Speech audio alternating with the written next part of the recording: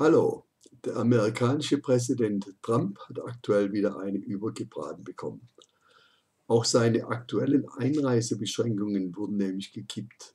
Der Täter war natürlich wieder ein Richter, diesmal einer von Hawaii. Solche Täter wünsche ich mir auch für Deutschland.